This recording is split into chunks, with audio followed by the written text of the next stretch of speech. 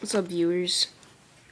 This is JOXP back with another video on how to find your serial number for your iPod Touch or any other iDevice.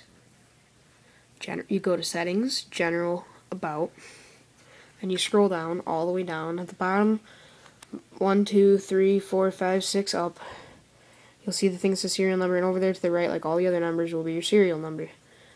And that's when you call Apple and your iPod's messed up or something. You could just go on your, um, what's it called, to find it. Secondly, another way to find it would have to be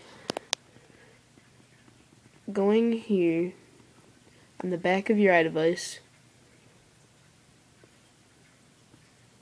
and it'll have it at the bottom. But that is also very hard to find. I think it was stupid for the the Apple makers to do such a dumb thing.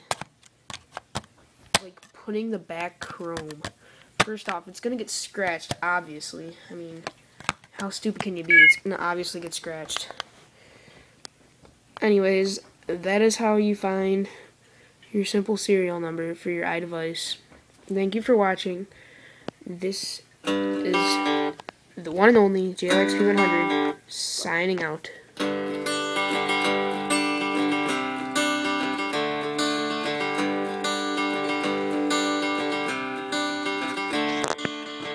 Another turning point, a fork stuck in the road. Time grabs you by the wrist, directs you where to go. So make the best of this test and don't ask why. It's not a question, but a lesson learned in time. It's something unpredictable, but in the end is right. I hope you had the time of your life.